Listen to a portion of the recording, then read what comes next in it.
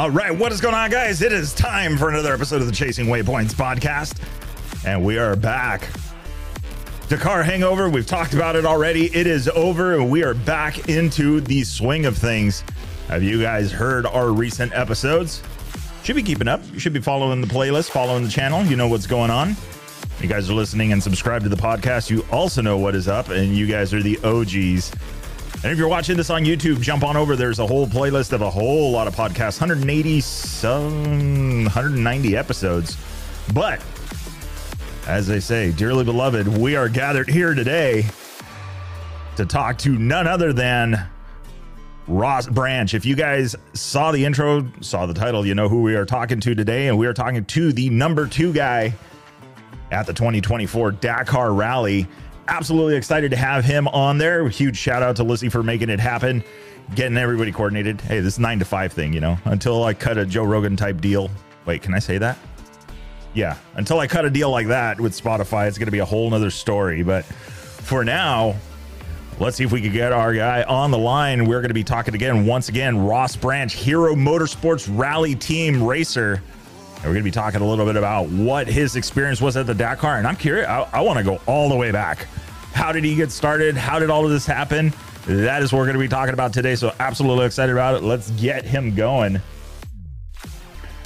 Let's get the technology queued up here.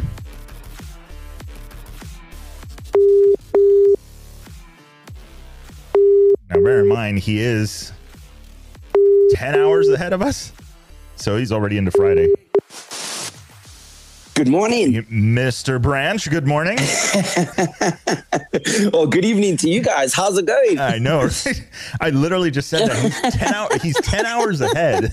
so it's a little bit of a time change. And and I'm used to I'm used to being up at three in the morning here, which I think would be what, uh, one in the afternoon your time? Somewhere around there? Yeah, yeah. somewhere somewhere there. yeah, something like that. So, oh man. So, well, okay. First of all, she will absolutely kill me if I don't say it. Uh, Lizzie says hello. so, Thank you so much, and and a huge hello to Lizzie. yeah, it's like if, if I don't say it, I, I, won't hear the end of it, and that's okay. She's big, she, she's my she's my adopted big sister, so so it's having fun. That's awesome. So awesome. Uh, how how are you doing? I mean, are you are, are we fully recovered? no more blisters, no more no more sore ass. Everything is it's, back. the body is actually feeling amazing. To tell you the truth, it's been uh, it's been a bit crazy, you know, coming back to Botswana, and obviously um, motorsport in Botswana is not that big, so so something like this is, has exploded, you know, and really really been been incredible since I've been home. So it's been super busy. Every day I've had something on the go, and uh, yeah, I started uh, getting back on the bikes and getting ready because we have Abu Dhabi in in two weeks' time. So yeah, I'm feeling good, feeling strong, and uh, this, you know, I've changed up a lot of things last year. So so um, yeah, the body is feeling really good, and obviously things are going going well. And and what we did last year, we've got to carry on doing this year because I'm feeling really good. Nice, very nice. And so that I mean that that was a big one. So I've been uh, like this whole afternoon I've been watching interviews and just finding out a little bit more. And I mean there, there's really there's two big things. Uh, the more important story to me is how you got started in rally. You know, we wanted to talk about that, but, but my my my first question is, is is that is about the bike. I know you've I've seen a lot of interviews, and all of a sudden, Hero Motorsports is on the you know on the radar. They're like, whoa, whoa, whoa. but but you you ride a very. I mean, the bike is unobtainium. I mean, you can't even if you had an American Express black card with the best working relationship. I doubt I could go anywhere and swipe that card and get that bike that you're on. So tell me, I mean, is that a little bit different for you? I mean, considering, you know, coming from some of the other brands where, you know, the the development is different, I would imagine, and the bike handling and the different things. I mean, how's that journey been? Definitely. It's it's been probably one of the best things I've ever done, you know, and and so amazing for me because coming from from Africa, you know, we don't really get the opportunity to get on a factory machine, and it's really difficult to get on a factory team. So, um, you know, joining Hero, it's a it's such a young team. They're only seven years old, and and this was I think the seventh or eighth Dakar. So it's really really young, and we have so much development to do. And um, as you said, it's completely prototype bike. Yeah. You can't buy them. Uh, when I spoke to the team, uh, you know, I think uh, they'd only made uh, 12 or 15 bikes since the beginning, so it's really young. And um, it's it's been a it's been a pleasure. You know, it's it's been so so you know awesome working with the team and developing a bike and and trying to like sort the bike out exactly how my riding style will fit it. And uh, it's been it's been one hell of a journey and and one really interesting journey for me. But I'm so proud and privileged to be on such an amazing amazing team. You know, the team is definitely like a family, and uh, they do anything and everything for you. And we've been doing a lot of testing um, down in in Namibia now, which is which is such a cool testing and training ground. So yeah, we've done we've done a lot of work to the bike in the past in the past year, but. Um, you know they've they've started off with such a good base that uh, that it was really easy for me to get on the bike and, and go as fast as I could. Yeah. Uh, we just had to work on like the small things. You know, it wasn't anything big. We didn't have to change anything like uh, massively, but uh, the the small things we work, we worked on, and uh, I'm so comfortable with the bike now. And I think a lot of that has to do with with the people that are that are managing and running the team. Uh, the mechanics are awesome. The the engine guys are really cool. The suspension guys are awesome. So it's you know when whenever I go riding my bike, it's like so much fun because we come back with so much information and there's so many different things that we can try try and test and do and stuff like that. So it's it's been really an amazing ride for me. And uh, yeah, hopefully we can carry this on for the next couple of years and hopefully I can give back a little bit with some some information on the bike, and if we can, uh, you know, get get uh, get better than we are now, that's that's awesome. So we just got to keep on moving forward. There's obviously a lot we can still do with the bike, and and change it up a little bit. So yeah, looking forward to the next couple of years. Yeah, I mean that is, and it's you know that was one of the curiosities, right? Is it, I've always wondered that, like you, the the bike that you came from you know, was, was there a moment when you threw the, you know, the first time you threw a leg over it and it was kind of like, okay, well, you know, let, I guess let's let's see how this goes. For sure, you know it's uh, it's coming coming from such a huge manufacturer like Yamaha was was you know it's it's such a big brand in the world and and obviously their factory teams are are really you know top of their game. So so coming from Yamaha and going to to Hero was was obviously a big step for me and and really not knowing what to expect. You know, you go onto onto from a team that you got 200 or 300 people working on the rally program and uh, then you go to to a team where you've got 20 people working on the rally program. So it's a huge step. But uh, those 20 people have have all the knowledge and experience and and they've they've really really worked well together and they've uh, put together a, a, really amazing package. And yeah like i say it was it was so big for us as as an entire team to do what we did at Dakar now. And i think just for the brand itself um, you know I was, I was lucky enough to fly over to India just after the race, and uh, you know they were so appreciative of what we've done, and that was the main thing. You know, when you can see that, when you can see that. Uh, gratefulness, if you want to call it in a better word, uh, the, from from everybody from Hero. Uh, it was it was really um, a memory that I'll never forget in my life. So so yeah, it was it was a big step and obviously a, a big question mark because you because you're going from such a such a huge team to to a smaller team. But um, it shows that anything is possible, and uh, you know the guys are working so hard. So it was really cool for all of us. Yeah, I mean, it was. I, I can only imagine. Pun intended, a hero's welcome, you know, to, to, be able to, yeah. to show up and, and I mean, it, that, I mean, it always amazes me. I'm, I'm, I try and be a little bit more the tech and the nerdy. And like you said, you know, like the little things, right? The shifter being in just yeah. the right place, the wheelbase being just right, you know, and yeah, what's interesting is, is to me in, in, in kind of seeing all this is, okay, so hero has its choice the, all they do is build this race bike. Those 20 people, that's all they do. And when everybody is kind of switching gears and going to a motocross frame, obviously the Austrian bikes and uh, Yamaha before they left the Dakar, you know, on the MX frame, the previous generation Austin Austrian bikes being on a ladder frame. That it, I believe Yeah. that's what's under the cover on the Hero bike. So they, I think That's exactly it. Okay, so so I mean, Yeah. what are the what are the big diff- like? Is the MX frame going to be the future, or it it really is a toss Yeah. up? You know, it's uh, it's. I, I really think it is going to be the future, um, just because of the way that rally is going at the moment. They're trying to slow it down. They're trying to make it more tight, more technical. So I think the the smaller bike, if you want to call it that, is is definitely the way that everybody seems to be going at the moment. Obviously, we've seen Honda come out with a brand new bike, which is incredible for for this Dakar. You know, and uh, and yeah, our bike is is amazing, but we do have to we have to move with the times, and obviously we've got to test out the the MX frame and see see what the differences will be. Um, you know, we have been doing a lot of testing, and uh, I think there's a, a lot more to come in the near future. But um, I'm really happy with the bike. You know, we we actually did a report now um, just after Dakar, and and uh, just gave my feelings on what the bike was like, and I, I really feel that the bike was so stable at high speed and and exactly where I wanted it.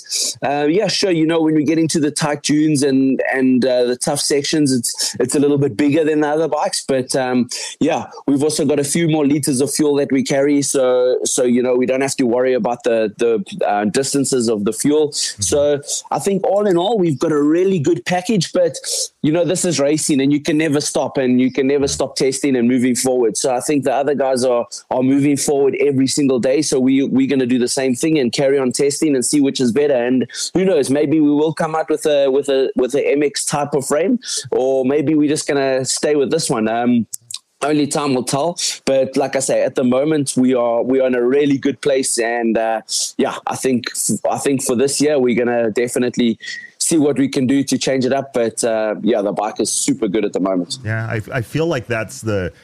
Uh, I I feel like that is a very hard thing to do. I mean, obviously the results have been climbing, and you put it together. And I mean, and, and first of all, you know, I didn't say first of all, but you know, it's congratulations. I mean, a, a second at the Thank at the world the world's absolute toughest race.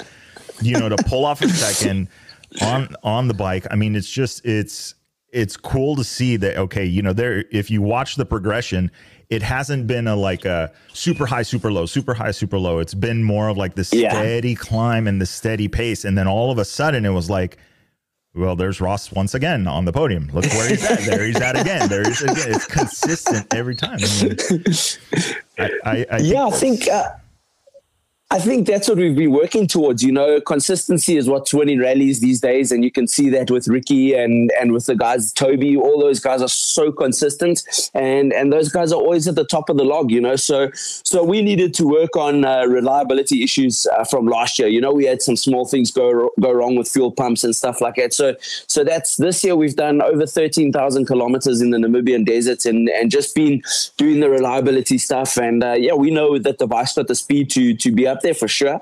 But uh, we needed to make sure that every day we're in the game. And uh, you know, that's uh, for Hero. It was it was huge that we were there every day. But for us as a team, it was it was really really um, you know we've been putting in the work. So so we are kind of expecting a good result. Obviously, the podium was was was there, but we are like kind of like waiting. You know, like is it out of reach or is it there this year? So so for us, it it was a huge thing. You know, we just wanted to go to get a top five and and just be in the game and show the guys that we got we got what it takes. And uh, yeah, everything just worked so well, and and we didn't have any issues with the bike. You know, there was there was a big thing over so many kilometers. It's so easy for something to happen to the bike. So we just needed that to go right, and and I think they've they've ironed out uh, all their their small issues that they needed to sort out from last year's Dakar to this year's Dakar. So you know, we we were definitely moving up and moving forward, and consistently we're getting better and better. And and also from my side, you know, I've tried to take a step back and not just be motocross style flat out every day and then end up in my,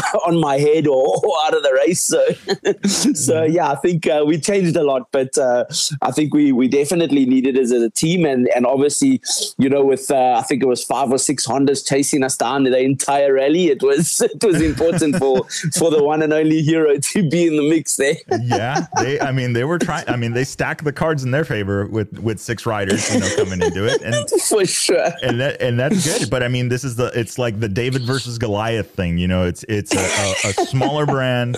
you know, going at it. And I mean, and that I, to me, I uh, I just absolutely think that's awesome. And to, like I said, you know, I, I heard in one of the interviews, you know, carving the bike out and making sure that everything is just right and the ergonomics and all of that stuff. Because what you're asked to do, you know, it's not only the the it's not only the all out speed, it's the fact that you got to look down at some point to say like, am I going the right way? So For sure, you, you know, I think a lot of people forget that. yeah, it's all yeah, fun and you games a bike that's comfortable. Yeah, it's all fun and games until you ride off into the sunset, and then we got an issue. Hey, so yeah, exactly. on the phone That's checking it. in. We miss you. Where have you been?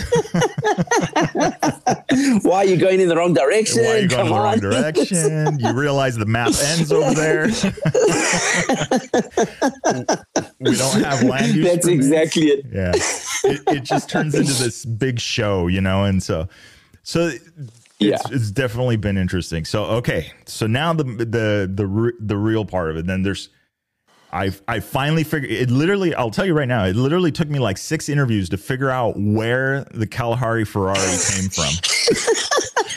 I'm sitting here thinking, I'm like, okay, it's probably got to do with something like because he's just so fast, you know, because you're thinking Ferrari and he's fast. And then, and then oh, some interview that's talking. Awesome. so, so, for those playing the home game, tell us about the uh, the nickname. Where, what does it mean, and where it's, did it come from?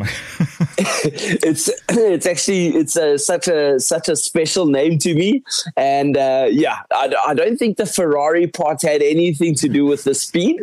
If you know where my name came from, so in Botswana, uh, you know, our back in the day, our transport was a was a donkey cart. So so it's a little trailer t- towed behind a donkey, and uh, we still see that often often today, especially when I'm riding out in the bush and doing some road books. And uh, we have a, a, famous race in, in Botswana called the Toyota Desert Race. It's a thousand kilometers through through the Kalahari Desert.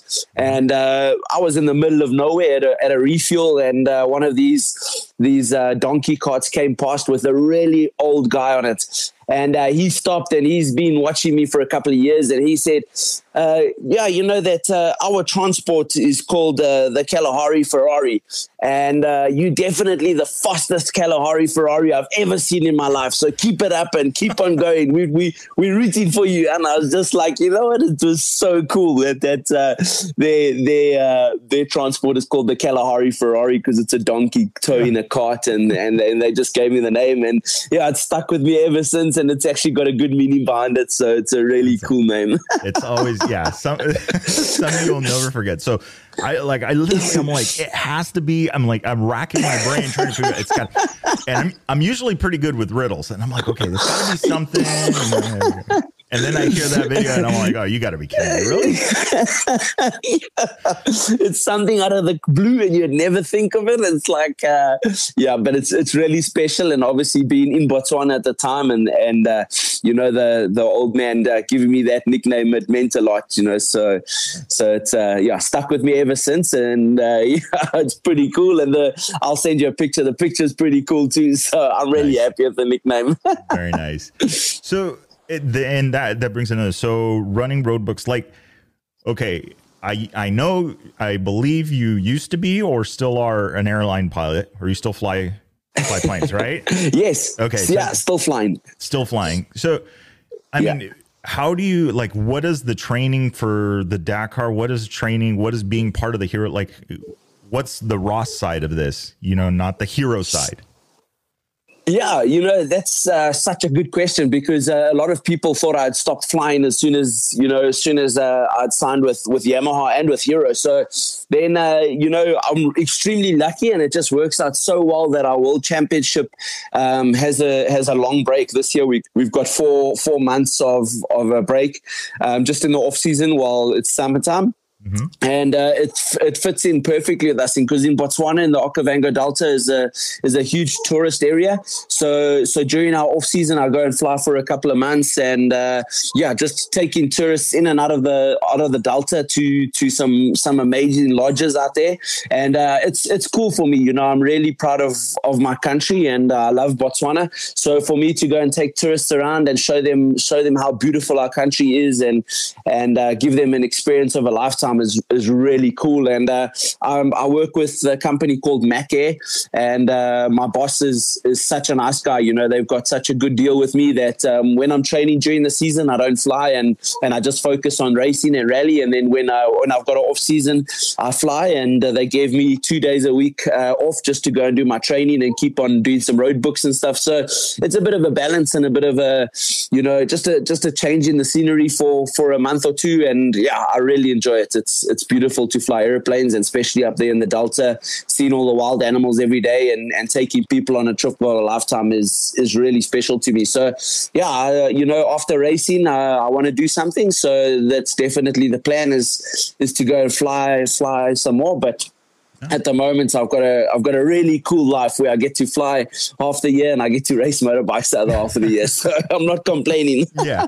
Yeah, just basically flying around everywhere on desert, two wheels, whatever, airplane, whatever. You know, yeah, you just fly everywhere. I just try not. I just try not crash the plane as much as I crash my bike. That's the main thing. That's sound, that is sound advice. Sounds like a pretty good plan yeah. to me. so, yeah.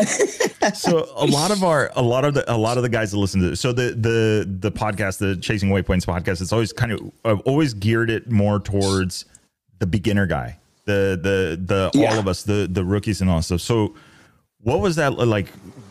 When did the first road book happen? I mean, all the way back to that. What? How did you even stumble into this? I mean, I do. I am fully aware that rally racing is bigger everywhere else in the world than in the U.S. In the U.S., it's like yeah. soccer. It's not really people dabble in it. Yeah. You know? and it's and it's so crazy because I think there's so many beautiful places in the US to ride road books and stuff like that. And I think Ricky and Skyler have really taken rally to the next level. So I think it's going to blow up there, you know. But um, I think Botswana may be giving the US a bit of a go for for not having no rallies. You know, there's okay. there's absolutely no rally or any kind of that kind of event in Botswana. So we just got like the the Baja kind of racing, the same as you guys have there. So it was always, you know, we watched uh, the Dakar Rally in 1992 when I was really young. I went to to to watch it with my dad because at that time it was going from uh, Dakar to Cape Town. So my dad drove me 3,000 kilometers to watch literally one day of racing and just watch them cruise past us. And I always wanted to do it from then on. And um, you know, then I, I I needed to go the right direction. I couldn't just go straight into rally at a really young age. So so I was a professional motocross rider. I lived in Germany for six years, and uh, then came back to South Africa, and and then started, you know, chipping away at the at the dream of going to Dakar to ride Dakar.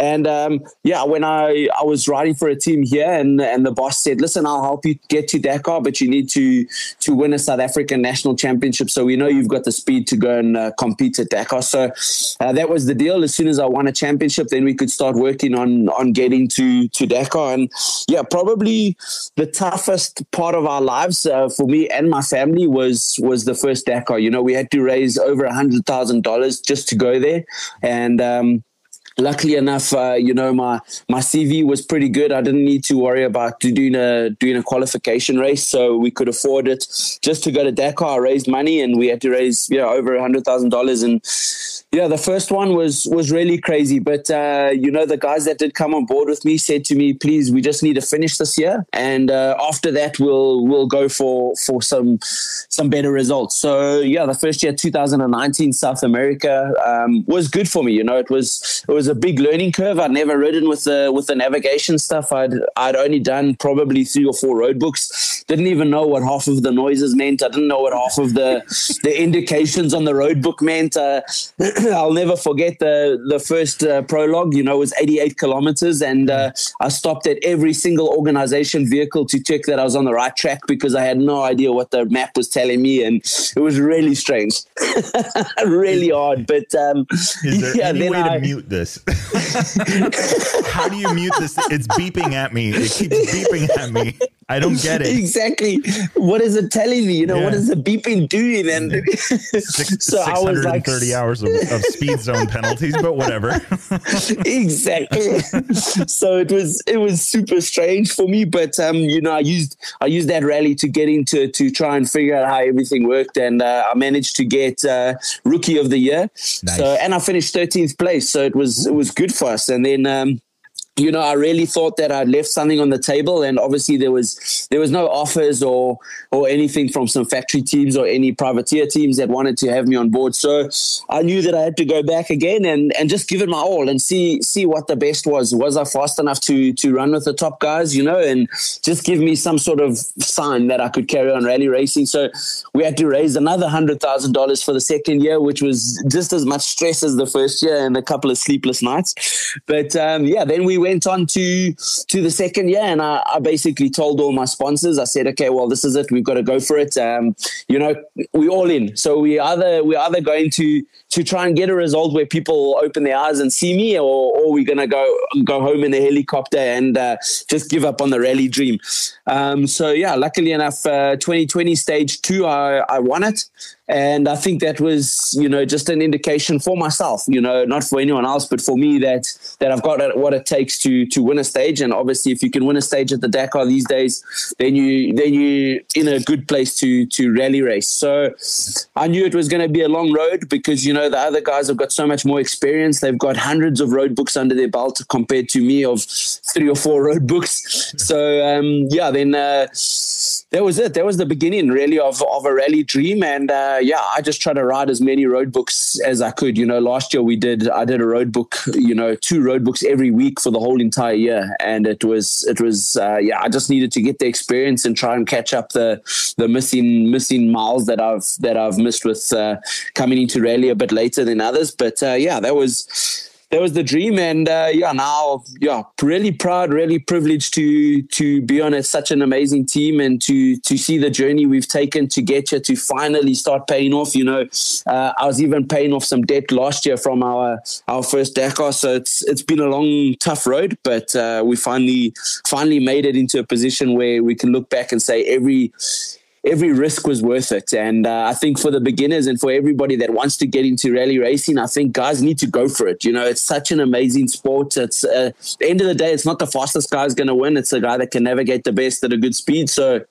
Um, yeah, it's it's a really tough sport, but so much fun to do, and uh, yeah, I really think that uh, we need more people to get involved in the sport. It's it is good fun. Yeah, yeah. I mean, I I that was it hundred percent agree. I, you know, I think it's Matthew Glade that will go down in history for that is saying, you know, just just look at the used gear market. You know, you look around and see yeah. how many people are selling stuff that they've previously purchased, and you can't. You could jump on eBay and try and look for a Ico or for, and you're not going to find them, which is no, which is which yeah. is crazy. So obviously, it shows the level of of uh, we'll go ahead and say addiction to to once you get started on this, you know, you get bitten exactly. by the bug. But so it's, it's, something. I mean, you you so then you've seen the progression. I mean, I you mentioned you kind of alluded to it earlier about how they're trying to slow the guys down. You know, slow you guys down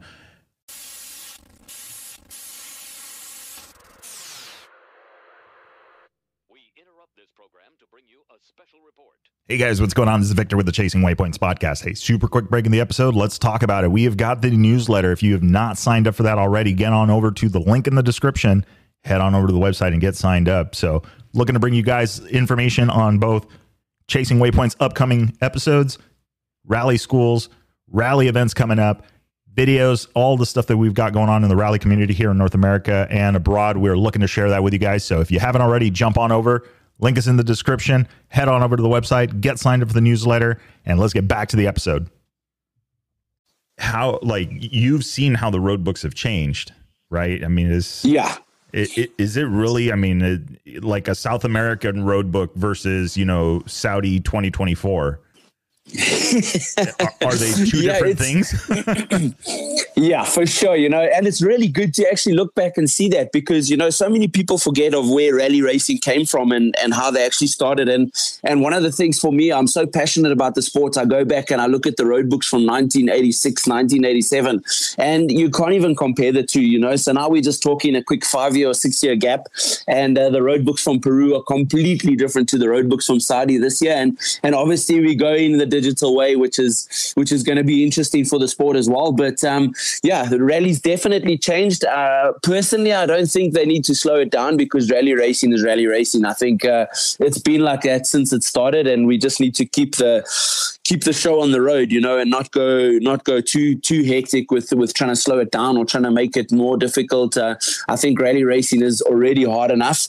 Um, so yeah, I think we we we actually in a good place now. Rally racing, uh, the progression has been good. You know, we've got a world championship. We haven't had a world championship uh, in a long time, so we've got a really good world championship going at the moment. So yeah, I think uh, I think it's it's really good for the sport where we are going. But um, yeah, I think they still need to just hold on to the to the good old days of rally racing and, and not to to to try to do too many crazy things and and change the sport too much. Uh, it is a fantastic sport, and we just need to to keep it as it is. I think. Okay, so so you would definitely be opposed to them making a 250 cc limit on the bike. Yeah, yeah, definitely. That's going to give a whole For new sure, meaning to a know? doomsday. For sure, I think, and it'll just be such a long day. You know, it's yeah. going to be the bike will be revving so much more than a 450, and wow, it would be it would be really crazy. But you know, on the other hand, maybe it's a little bit more affordable for people to come in that way. So I think uh, I think the ASO and the Dakar just need need to to work on on getting more people involved in the sport. I think that's what we need. We need a, a future. You know, it always used to be when I was looking at Dakar, you know, you could never come in as a 25 year old because you're too young. You know, you need to, to come in at 35 years old, 36 years old uh, with a bit of racing experience uh, throughout your life and and come in. So the older guys were always doing doing the Dakar, and uh, now you see a lot more younger guys coming in. But I think we need to, you know, you know, push some more for even younger guys. You need to start coming into Dakar at 20 years old, 25 years old. You know, that's that's the age that you need to start coming in, and and uh, I think ASO need to definitely push that just for the future of the sport. Yeah. Yeah, I agree. You know, it, it definitely not is not just seeing the younger crowd. You know, obviously it opens it up to uh, to more people, but like junior programs. I mean, I know I was actually talking with Willem uh, Avedon a few weeks ago about you know the new point system and how people are going to have to qualify to get into it, and it's so it's like they're working towards it, but in it, sometimes it feels like they are, and then sometimes it feels like they don't care. I, it probably sounds bad, sure. but you know, it just like yeah. Which one? I mean, yeah, you know, you, you know, rally racing. I think we can all agree is is when you're trying to trying to you know put your foot in the door and trying to get into rally racing. You, it's so expensive. You know, a hundred thousand dollars just to enter the race and yeah. and to go to Dakar, and then uh, with the point system and and you know, like if we had this point system when I was trying to get into rally, I probably would never have been able to get into it because it's so expensive. Mm-hmm. So I was never be I would never be able to do a qualifying event before. You know, so I understand that they're trying to get people to to come come into rally and do do a cheaper one first and then go and do Dakar. But at the same time, I think um, yeah, they they need to also you know like focus on the guys that have not not so much money and they want to come into the sport. So I think they just need to, you know, open uh, open the vision and keep it a wide vision and and try and try and help as many people as we can get into to rally racing and get into the Dakar and stuff. I think it's it's important. But uh, yeah, the numbers are healthy at Dakar for sure. Yeah. But uh, yeah, you know, it could it could uh,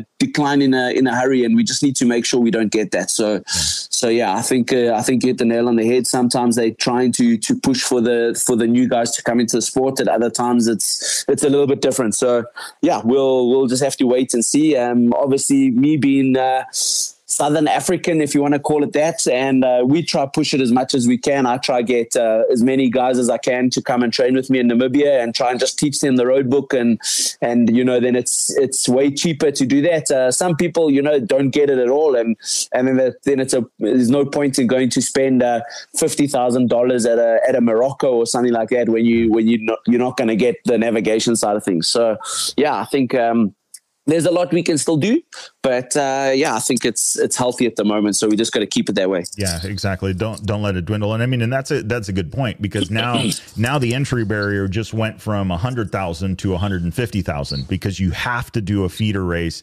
And you actually probably exactly even, maybe even have to do two, or you run the risk of having yeah. to do two if you don't finish one. The you know, if you put all your money yeah. on Abu Dhabi and you don't finish it, well, now you got to go, you got to go and do it all over again at one of the other rounds.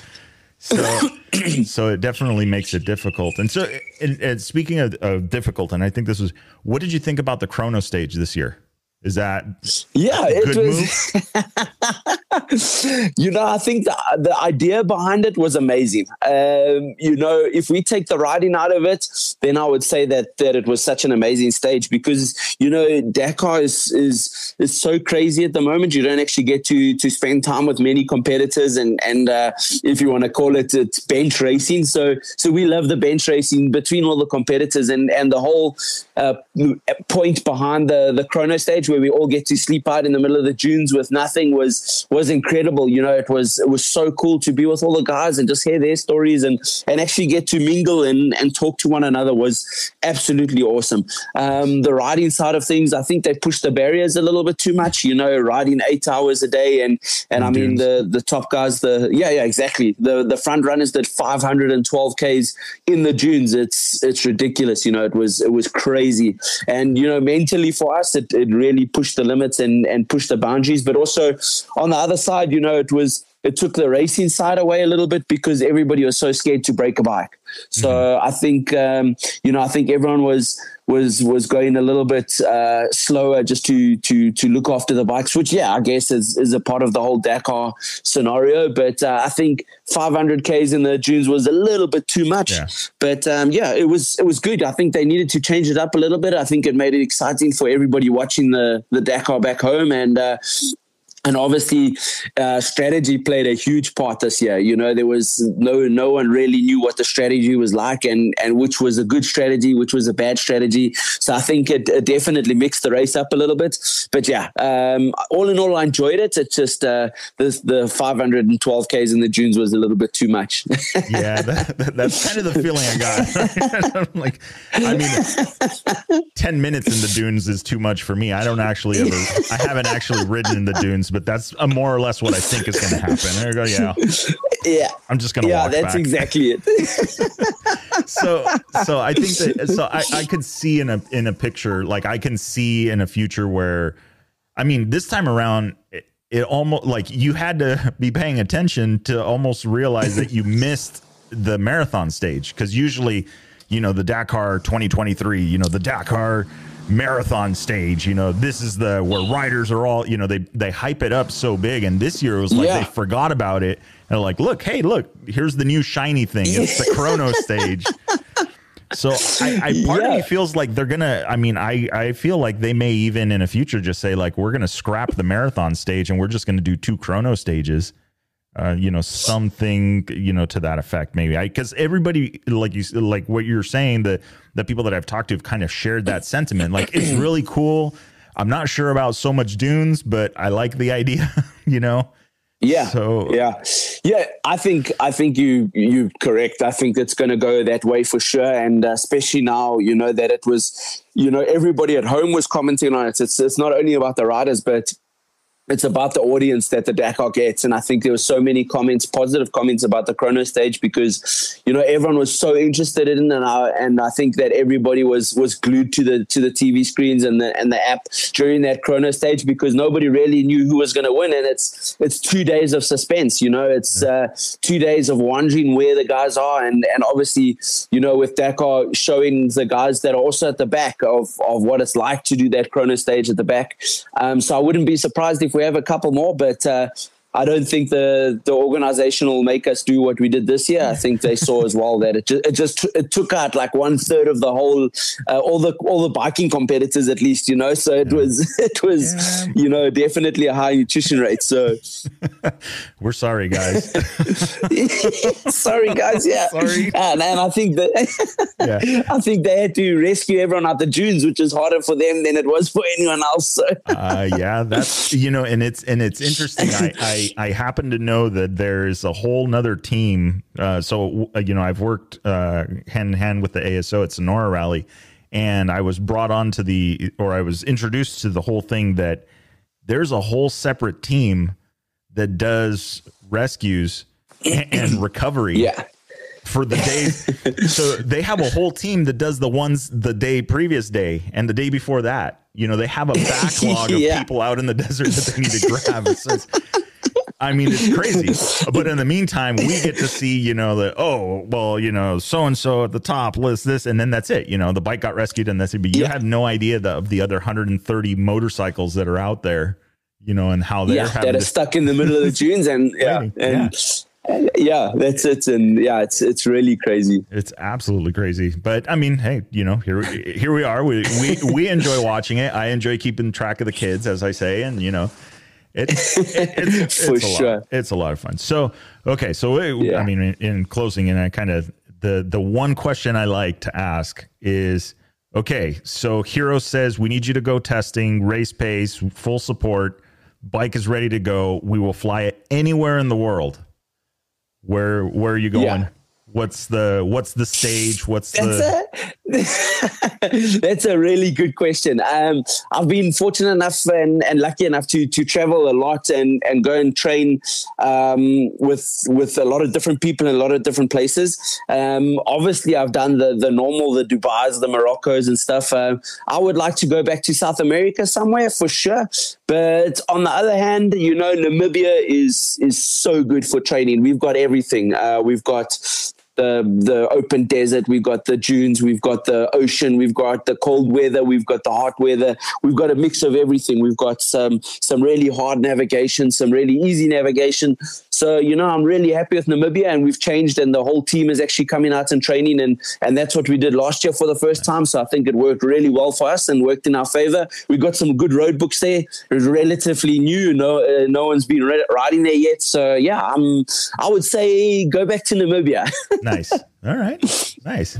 Yeah, Yeah. I mean that's I because I think that's like that's the thing with with rally, you know, and and and and really actually it's kind of at any level, even at the US with the very limited amount of rallies that we have. If you were to commit a whole season, you know, like a you know, Willem and I have talked about this and it's like, you know, the a lot of people will ju- will judge people by the Dakar. You know, it's like, well, have you done the Yeah. Dakar? But but there's For so sure. many other rallies and so many other places to see. I mean, you could literally just travel the world doing these small little rallies and get to see Yeah. so many things with the cost of and one so it's such a mu- exactly. And so many amazing places. I mean there's some of the rallies i look at i follow i follow a lot of rally pages and everything. And and you know for instance uh, they they back in saudi arabia doing a baja rally now and uh, going through some amazing terrain again you know. So if you go to the sonora rally was was one of my favorites. You know it was the people are so friendly. You get to see so many different cultures. So for sure if you take a, a budget that you're going to spend on dakar plus the qualifying race you could probably race around the whole world uh, for the same amount of money and go to some really special places so definitely and you know i think rally does that for a country and and for a place it's it brings out the beauty and takes you to places that you'd never go and visit unless you're racing bikes Yeah. Yeah, I mean that's you know if you, want to if you want to see the world, right? it's easier for with the road, road and, book. and having fun Yeah. having fun doing it Very true. I mean, the rally crowd is, is, is definitely different. And so, actually, you know what? I, I I apologize. I lied. I've just thought of another question, and only and only this question because of what you mentioned earlier about you know with traveling with your your dad to go see the you know the last day of the race, the Africa Eco Race. Yeah. Would you consider doing that Oh. because of the new route, or uh, basically they've taken De- over the old. Dakar? I mean, that's for sure.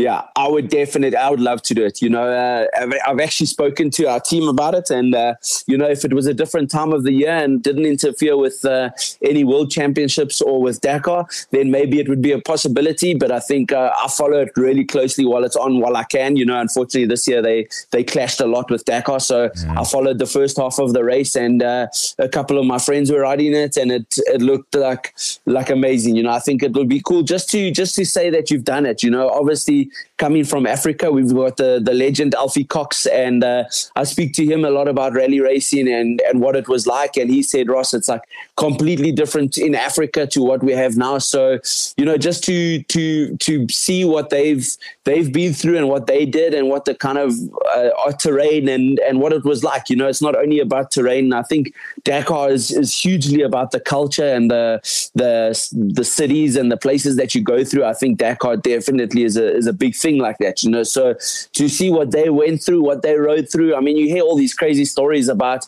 oh yeah, I broke down and I had to stay there until the till the truck came and that was 24 hours later. Yeah. Meanwhile, these days, you know, you, you picked up within like 20 minutes. There's a helicopter there or there's there's one of the organization vehicles there to pick you up. So I think it's it's completely different and and I would like to see what they went through. You know, they said they had no no service, they had they had no communication with the outside world for for days on end. So definitely uh, I would like to do it one day. Um, you know, maybe after Dakar days, I'm not too sure yet, but um, we'll see. You know, I think I think everyone should start working together and try and uh, include it in a championship for sure. It would be fun to have it, but yeah. Uh, yeah.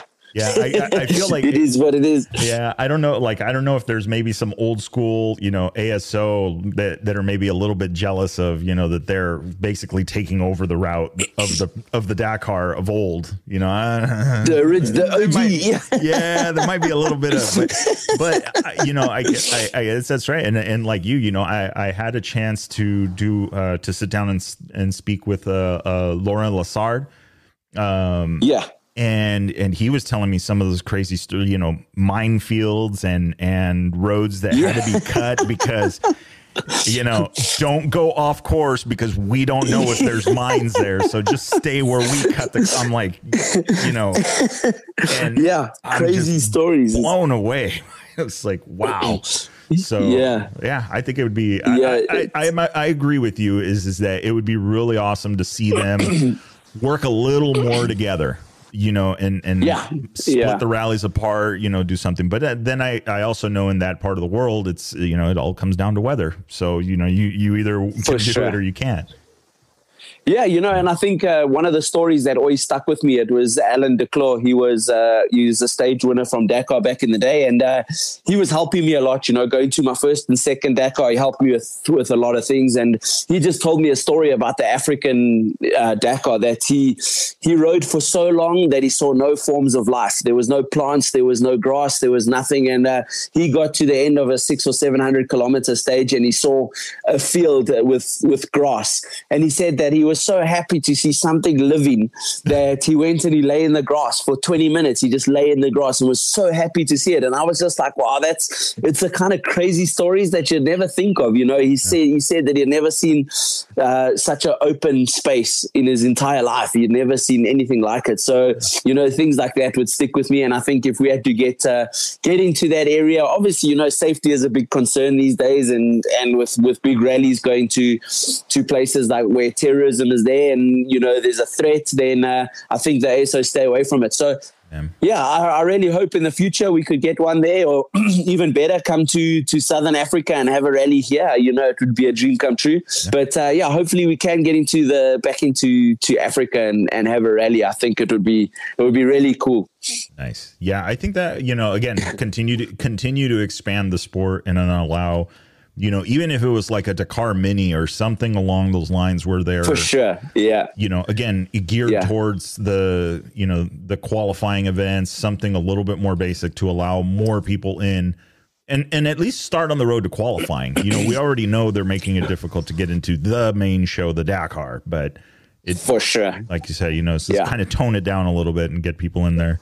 Yeah, make it a make it a little bit cheaper, make it affordable for people, and and like I suggested to them, you know, maybe we need something like a like a wild card entry, or maybe say, hey, we're going to Mexico for Sonora Rally. You know, 10, 10 citizens of Mexico will get an entry fee at five thousand euros instead of ten thousand euros, kind of thing. You know, so yeah. I think there is there's a couple of ways that we could do it, but uh, yeah. yeah. you know, there is there's a lot of people that want to do it, and I think ASO have to have to make sure that they they get the right people into Dakar. So we'll see what happens in the future, but definitely pushing to promote the sport and get uh, get the people that haven't had a chance of, of of rally life yet and get them into the game for sure. Nice. Yeah, I mean, 100% agree. I mean, there's and, and, it's just working together, and with a lot of people is just like, okay, you know, wh- what are the recipes? That's a lot of the stuff that I try and share. You know, is like, okay, these are the this is where it starts. You know, and if you know yeah the how to yeah, yeah, how to get involved you know yeah for yeah. sure either Definitely. whether it's in a volunteer or if it's printing out a road book to the local coffee shop whatever you know? yeah exactly you, you just, sure. you got to start somewhere you know so okay so, so no, closing what's uh okay two uh you got what two weeks to abu dhabi yeah, we got a couple of weeks now to Abu Dhabi, and uh, yeah, then after that we got Portugal and then Argentina, which I'm really excited about, and I think it's going to be you know, to one thing to start off Dakar with, uh, start off the year with a Dakar like that is is awesome for me personally. You know, it's it sets us up for for a, for a good year, and we just got to keep it on two wheels, keep the wheels turning, and and yeah, you know, now at least we've got some sort of opportunity to give the best we can for the World Championship, and we we don't start on the back foot like we did last year. So I think it's going to be, yeah, I'm just going to make sure that it's a good year for us and and have some fun. You know, I really enjoy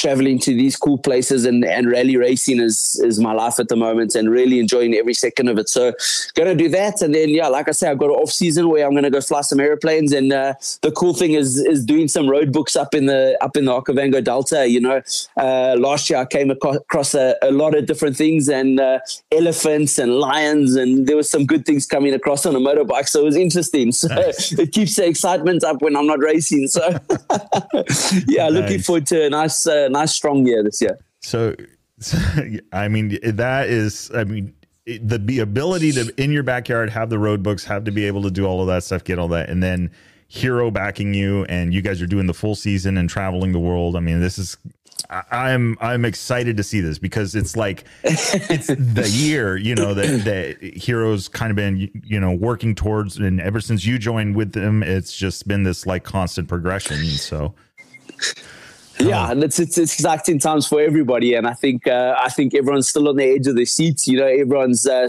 motivated from Dakar, so I think it's going to be it's going to be exciting one, and yeah, we're just going to have some fun, and uh, that's why we that's why we race is because we we love the sport, and I'm really proud and privileged to be in the position I am to go and travel the world and just do what I love doing. So really happy at the moment. Very nice. And so my question is this: Is when you're on the plane, are you critiquing how the guys are landing? are, are you? Are, I could one hundred percent. This guy get his pilot's license two days ago. yeah, I don't know. He's he's got sweaty hands when he has a bad landing. So I'm like, I know the feeling. Don't worry. meanwhile, the rest of us. Meanwhile, the rest of the passengers are clapping. yeah, that was a good one. Yes, yeah. uh, like they, like they say, any landing that you can walk away from is a good one. So yeah, I, I feel like that's true. yeah, for sure. very nice, very nice. Well, Rossi, I, I greatly appreciate you taking the time. I know it's uh, early in the morning for you. I don't know if you're a morning person, nah, but it's. I, yeah, I love the mornings in Botswana are the best. You know, it gets up to 40 degrees Celsius here in Botswana. So uh, early mornings is the time for training and uh, just being grateful for what we've got. So yeah, for sure. And uh, I love talking to you guys. And a big thank you to to Lizzie for putting this together. She's yes. awesome. And yeah, uh, yeah the, really, really cool. And uh, thank you so much for having me on the show. I really appreciate it. And hopefully uh, we can get some good results the year and chat to you guys again soon. Absolutely, yeah. We will definitely be glued and following along. I've, I'm, i think I've pretty much committed to doing the series now, keeping an eye on you guys. awesome, awesome, Rod. Thank you so Thank so you much. very much. Enjoy, and we'll we'll talk soon. Definitely. Have a good day, man. Uh, you too. Thank you. See ya. Bye. All right. So there you have it.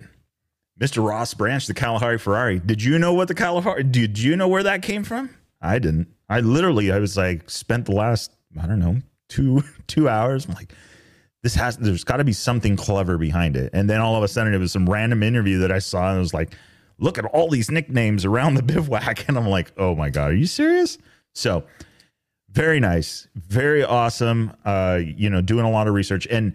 And really, it did come out. You know, it's like, okay, well, Hero Motorsports, the Hero bikes, we started looking and and I saw this, you know, I saw this on the Dakar Daily. This is where I found out that Hero Motorsports or Hero Motorcycles, you know, being one of the largest manufacturers, uh, in the world of motorcycles, you know, commuter bikes, scooters, things like that. Uh, previous partnerships with some of the major brands and building and doing bikes and then kind of striking it out on their own and making it happen to now this. You know, the Hero Motorsports Team Rally bikes is Hero Motorsports division. You know, that's they don't do any, they're not worried, you know, at least from what I see, they're not necessarily worried about like, okay, we're going to take the suspension setup, the chassis geometry, and all of that stuff from this 450 rally bike, and we're going to put it in this production bike. They don't care. They make, they literally, I didn't know, but it sounds like they actually have acquired Speedbrain, who originally did the bikes for them, uh, and say, okay, you are now our, we, this is, we build race bikes. That's what we do.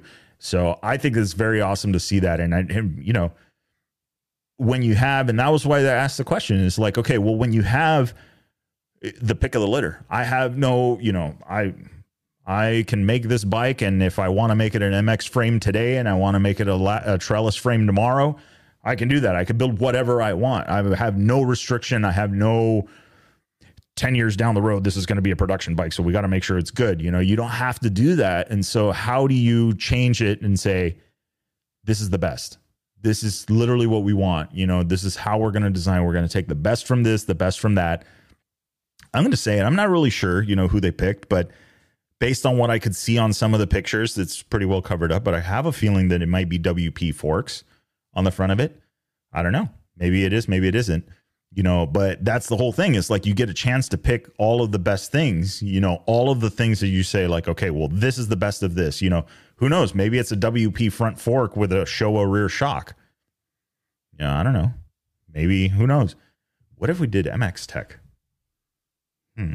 Maybe some MX Tech stuff would be kind of cool. But I don't know. You know, I think that that's the cool part. And then maybe what we see is that they develop, you know, as Ross was kind of mentioning, you know, in the change and how they're trying to slow down the Dakar and trying to do different things. Maybe what we end up seeing is a change in okay, well, this is our, you know, as long as they don't mandate it, they say, okay, this is our Dakar bike. Why? Because big long dune sections, 200 kilometers, you know, of, of flat out, you know, right on the rev limiter, right on the, you know, uh, versus other stages or other rallies where, okay, this is tighter and more technical. And, you know, we could really benefit from running a MX style frame bike maybe a couple liters less in fuel because it's more hard pack. It's not the dunes. We know we're not going to be consuming as much fuel. You know, I, you know, who knows? Would they even go that far? Because then at the same time, it's like, well, it starts playing tricks with the riding style. Maybe uh, they lose out on precious development time, you know, because I'm sure, like any other race team, every time the bike goes out, it's development. You know, it's not just for when you say, okay, you know, like, you know, we'll take, for example, one of the biggest teams on the radar this year at the Dakar in 2024 was the Kove team. You know, that they were, I mean, they were upfront about it. Hey, these are some things, these are the things that we found with the bike that are wrong and that need further development. And we're doing it right now. And these bikes that are at the factory aren't leaving until we do this to them, you know. So, it turns out, you know, that that obviously racing is a development program. We already know that. But then furthermore, it's also like what they do in the off season and how, you know, between the rallies and what they develop and what they're able to do. I mean, it's not like Formula 1, right? You know, Formula 1 32.2 minutes of, you know, wind tunnel time, you know, and you can't do this and you have this budget and don't overspend on the shrimp because then you won't have enough for the tires and the lug nuts cost too much this year, so you're going to have to cut back on the salad dressing and you know, all of these different things that go back and forth and budgets and stuff like that. So it's really curious to see. Like we said, you know, hey, if you had a great relationship with American Express and you could buy anything you want for a race bike and make anything you wanted out of it, which way would you go? So it sounds like that's what Hero Motorsports has done with their bikes, and that's what they're developing. And I think that it is going to be they're going to be the team to watch. I mean, it's them versus Honda for this year's events. You know, the World Rally Raid Championship. So we'll see. You know, it's obviously it's going to be one of the two bikes. I think Honda's got a really strong team this year. Hero's going to have their work cut out for them. But if Hero can continue to disrupt that, you know, you have Beretta, you have Ross Branch, you know, on the team, both very, very good riders, you know. So who knows? I don't know. What do you guys think? What do you guys think? Would you buy a hero if you could? If they said, okay, if they lined up the KTM, if if they were all five thousand dollars, KTM, Fantic, uh, Hero, a Kove, you know, which one would you go for? What would be the bike? Hmm? What do you guys think? So if you're on Spotify, you know what to do. Hit that Q and A section, drop what you think. What would you do? What would you be writing if they all were five thousand dollars, or you had the corporate credit card? Which one would you buy? So if you're on YouTube and watching this, drop the comment down below. What did you guys think? Who should we get next? We are going to be taking a little bit of a break on the interviews for the next couple of weeks. Uh, probably just be some solo stuff on what I'm working on and prep stuff. We've got Coast to Coast Rally getting ready to leave for that one here in just a few weeks. Uh, actually, next week. so that one's sneaking up. We're doing development. If you guys saw, I posted a story earlier today doing some stuff with the rally comp, doing some testing around the house, you know, just making sure, just looking at some things figuring out how things work. You know, always be testing, just like the right, just like the race teams do. So, very awesome stuff there developing along that. Uh, and then right behind that, we've got the SoCal Rally, which I am looking forward to. I have got a Husky 501 that I need to prep uh, before the Kove. There's the Kove's coming. I just need to. Anybody know who wants a 790 with uh, 4,000 ish miles on it? Just saying, I got one in the garage, but that's the plan you know, uh, I got the 501. I got to get ready. I want to do some riding, do some more videos. I'm sure, you know, this is, uh, you know, I enjoy doing the podcast and talking to people and meeting all that stuff. And we're going to have some great campfires and some great conversations out at the rally. And uh, I'm absolutely excited for that. I'm absolutely excited to see the bivouacs uh, coming up in a, in a week or so here uh, for the Coast to Coast Rally, which I think is going to be a lot of fun. So I don't know. We'll see. All right.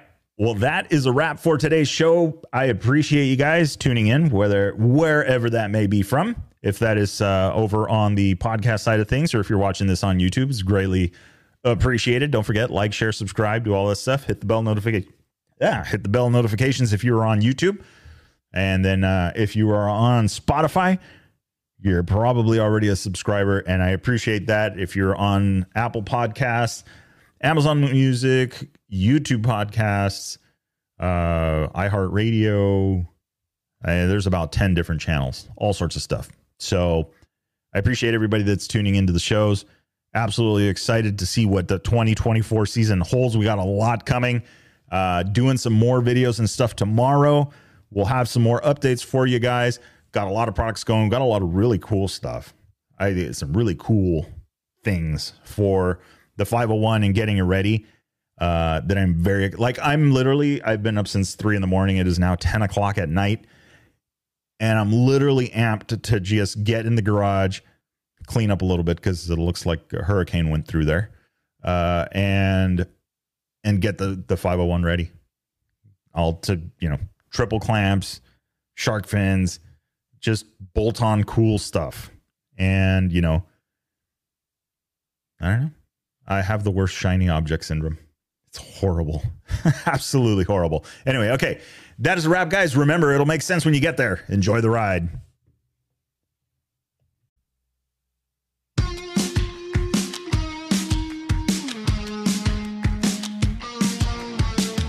All right, that is a wrap for the Chasing Waypoints podcast. Hope you guys enjoyed the show. looking forward to our next one coming up. Remember, if you are out riding, do not forget to tag us at Chasing Waypoints. Hashtag Chasing Waypoints. And if you haven't already, get on over to the website, get signed up for the newsletter, The Bivouac. North America's Rally Raid and Adventure Riding newsletter. Hey, let's have some fun. Let's find out what are you guys up to. Let's get you featured. If you're a brand and looking to get supported, get some eyeballs, get some ears on your business. Absolutely hit us up. Send us a message at podcast at chasing waypoints. But anyway, that is a wrap. Remember, shiny side up. See you guys.